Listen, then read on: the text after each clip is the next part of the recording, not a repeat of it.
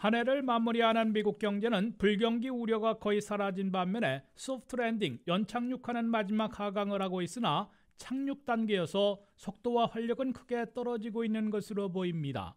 첫째, 경제 분석가들이나 투자자들 사이에서 미국 경제 불경기가 더 이상 언급되지 않고 있습니다. 골드만삭스는 새로 발표한 경제 전망 보고서에서 미국 경제는 연착륙하는 마지막 하강을 하고 있다고 평가했습니다. 미국 경제가 앞으로 12개월 안에 불경기에 빠질 가능성은 15%로 급락했다고 골드만삭스는 단언했습니다. 미국 경제 국내 총생산 GDP 성장률은 올해 2.3%, 내년 2.1%가 될 것으로 골드만삭스는 내다봤습니다.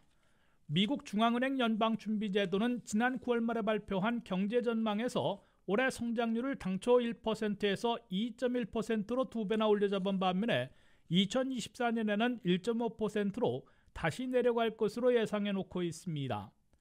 월스트리트저널이 10월 중순 경제 분석가들을 설문조사한 결과 올 4분기 경제 성장률은 2.2%를 기록할 것이지만 내년 1분기에는 0.4%, 내년 2분기에는 0.6%에 거쳐 급속 냉각될 것으로 경고했습니다.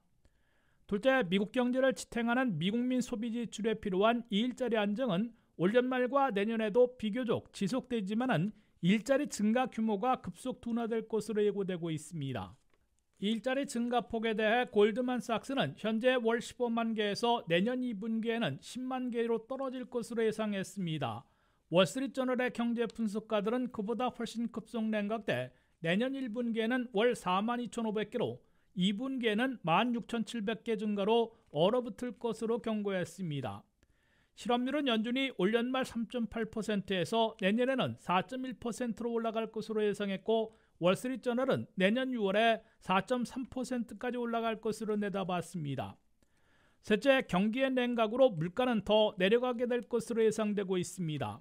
연준은 PCE 소비지출 물가가 올해에는 3.3%에서 내년에는 2.5%까지 낮추고 2025년에는 2.2%로 추가 하락시킬 것으로 예고해 놓고 있습니다.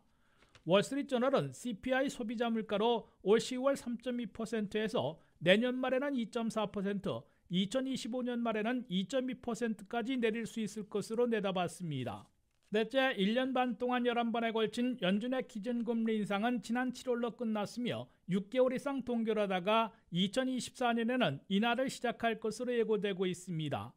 금리 인하를 시작하는 시기에 대해 월스트리트저널 조사에서는 절반에 가까운 49%가 내년 2분기로 꼽은 반면에 골드만삭스는 내년 4분기에나 가능할 것으로 내다봤습니다.